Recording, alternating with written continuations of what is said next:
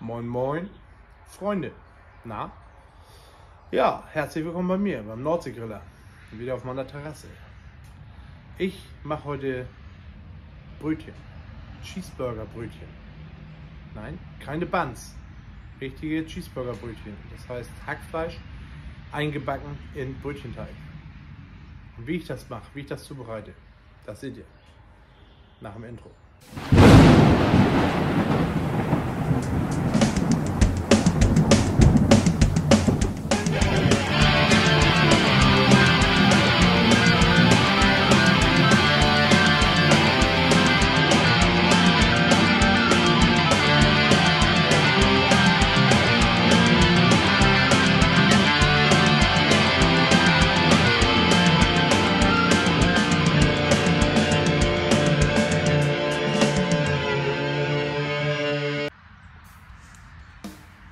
Kommen wir jetzt zu den Zutaten für unsere Cheeseburger-Brötchen. Wir haben ein Kilo Hackfleisch, das ist vom Hochlandrind. Ja, die mit dem langen Fell und den langen Hörnern. Dann haben wir ein Paket Bacon, Baconstreifen, Baconwürfel. Ne? Das will ich mit ans Hackfleisch packen. Dann haben wir Gurken, Mayo, Ketchup. Da möchte ich vielleicht eine kleine Burgersoße von machen. Das kommt da mit rein. Und Worcester Soße auch. Salz, Pfeffer zum Abschmecken. Und von Watten Barbecue die Spicy Gurke. Richtig, richtig gutes Zeug. Ich habe da gerade mal probiert. Hammer. Vielleicht mache ich nachher noch Klecks Barbecue Soße mit in die Burgerbrötchen. Das weiß ich noch nicht. Auf jeden Fall kommt Käse mit rein. Ob ich den ganzen äh, Parmigiano brauche, weiß ich noch nicht. Gouda könnte ich noch nehmen. Dann haben wir 16 Knack und Back Burger, äh, Burgerbrötchen, solche Frühstücksbrötchen. Und ein bisschen Bautzner Senf und eine Zwiebel. Ja. Und dann können wir gleich mal loslegen mit zusammenbauen und anbraten.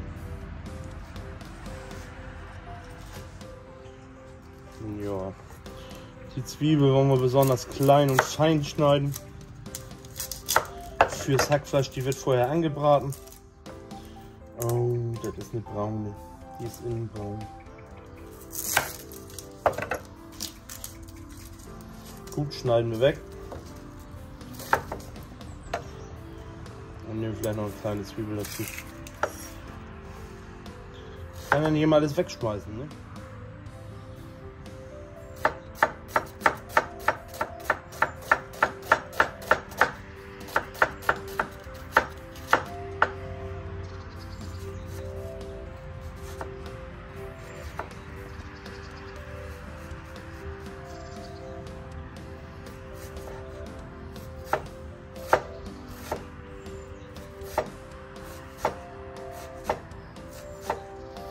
Aber das brauche ich euch ja nicht alles zeigen. Ihr wisst ja, wie man Zwiebel schneidet. Ne?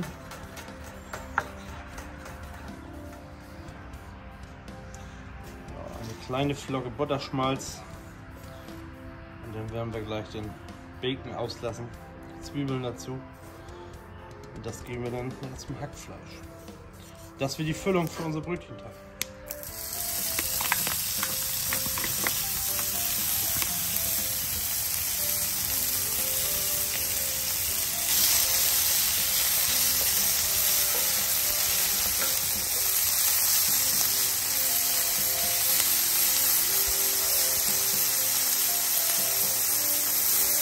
Einfach das Schönste, was es gibt auf der Welt. Bacon Brat.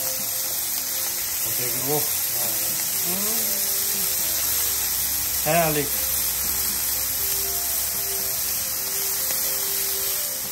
Dann nehmen wir uns die Zwiebeln, geben die damit zu. Und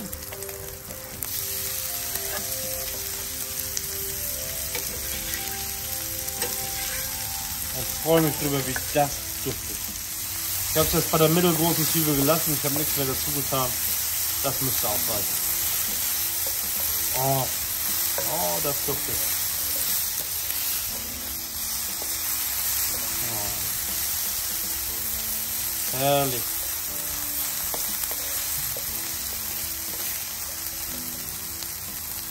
So. Wenn ich die Platte schon mal ausschalte, dann noch ein bisschen weiter brauchstellen lassen.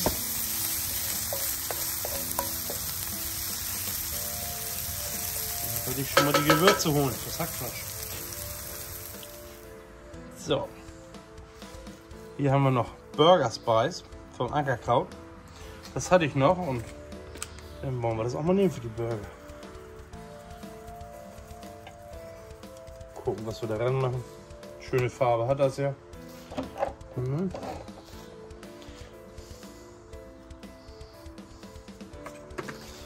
Ein bisschen kneten. So, dann können wir jetzt ja schon mal den Bacon ranmachen. Ne?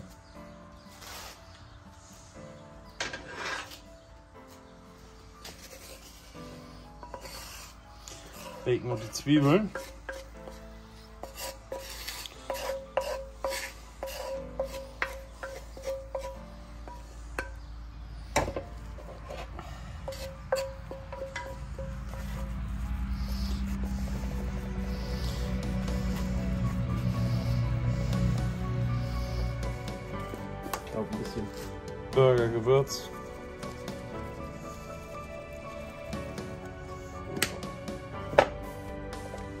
Salz. Na, Salz lassen wir lieber. Kommt gleich noch ein Schuss Worcester dazu. dazu.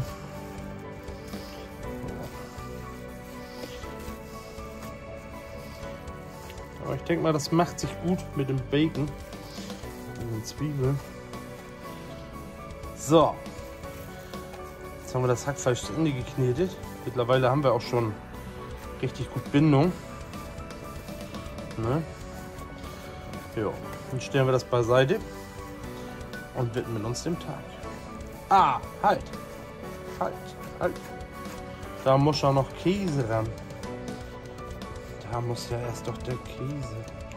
So, Freunde, da haben wir den Parmigiano Reggiano. Und den reiben wir jetzt frisch in den, in den Teig, in die Hackfleischmasse. Laut Originalrezept 150 Gramm, das ist das ganze Stück, aber wir können erstmal gucken, wie viel das ist. Obwohl, zu viel Käse, hm, das geht ja gar nicht. So, Freunde, ich glaube, das habe ich über von 150 Gramm. Ich glaube, das lasse ich auch. Ich glaube, das reicht. So, nehmen wir uns eine Schale. Wir ein bisschen Mayo rein. Reicht wohl.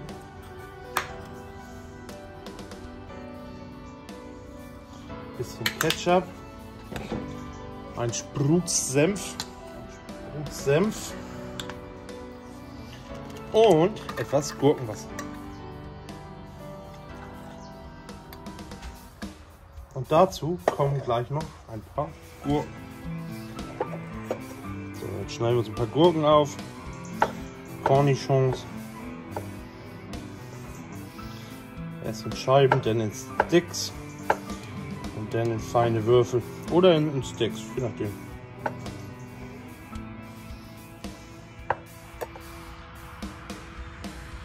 So. Die Gurken klein geschnitten, mit dazu getan. Das Ganze würzen wir jetzt noch mit etwas Salz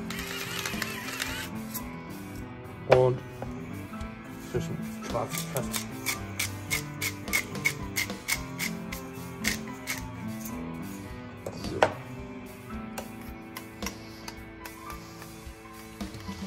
Das sieht ja schon aus wie eine Burgersoße. Sehr gut.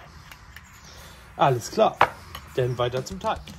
So, dann öffnen wir mal die Sonntagsbrötchen.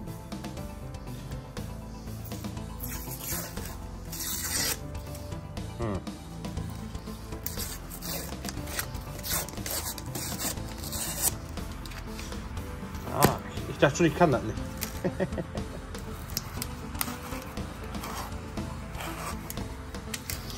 Aber irgendwas kann jeder. 3, 6, 8. Jawohl. So. Nehmen wir uns mal so ein Brötchen. Und wollen wir das mal ein bisschen größer.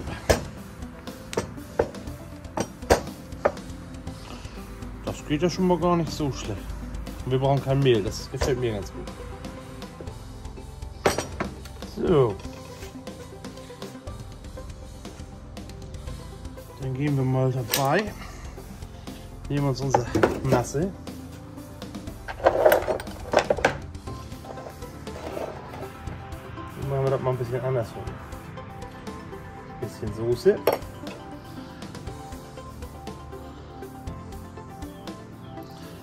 Bisschen Hack. Bisschen mehr.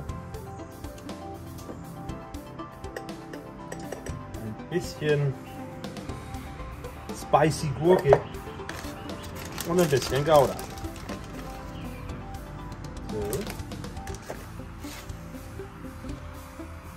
Von einer Seite schlagen das fast ganz über und dann schlagen wir die andere Seite fast ganz zurück und drücken das alles ein bisschen an.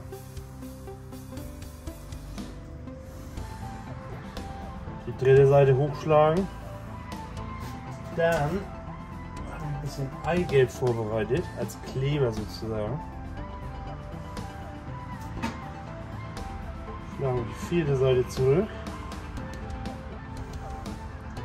Drücken alles ein bisschen fest und dann ihn in die Schale auf die Naht. Nicht so Brötchen an Brötchen. Ja, und das mache ich jetzt mit den anderen. Oh, 13 noch. Gut. So, ich hatte den Broilie ganz hoch geheizt. Jetzt habe ich mal die kleine Kammer. Und dann probieren wir das mal mit den ersten sechs aus. 250 Grad hat er noch. Die Restwärme ausnutzen. Alles klar, er kommt. Ein Mann und sein Handschuh. Nightshoe. Oh ja, Freunde. Das sieht schon mal sehr gut aus. Erste Charge, zweite Charge. Und das sind die letzten. Ja. Jetzt werde ich die nochmal mit ein bisschen Ei einpinseln. Nochmal, einmal habe ich schon. Und ich werde noch mit Sesam streuen.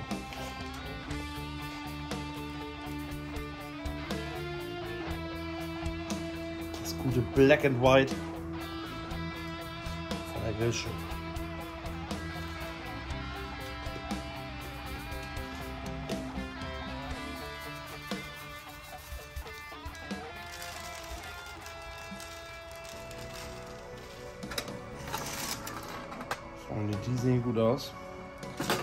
Doch schon Öl aus vom oder Fett vom Hackfleisch.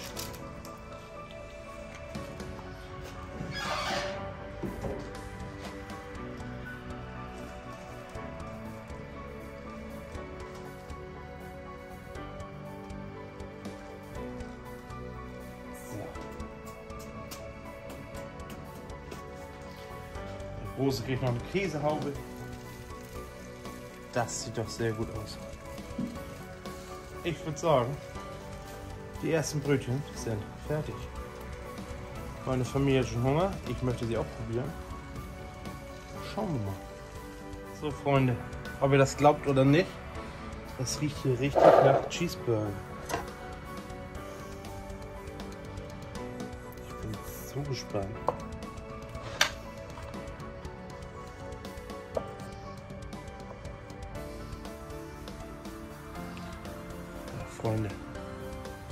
Ich glaube, das ist ein gelungener Versuch.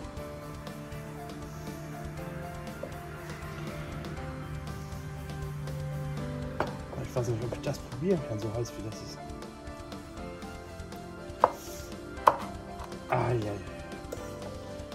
Ja. Das werden wir, glaube ich, noch kurz auskühlen lassen. Freunde. Ich habe ihn jetzt mal vier Teile geteilt. Man könnte ihn jetzt füllen mit Salat, mit anderen Soßen, Käse, was man möchte. Ich nehme einfach von meiner Burgersoße nochmal einen Löffel und ich sage auf euch.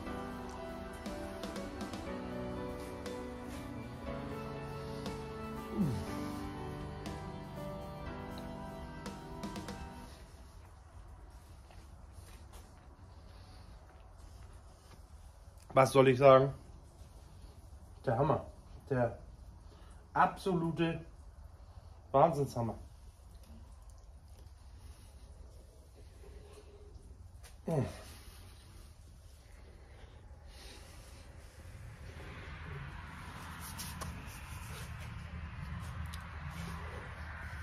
Mm.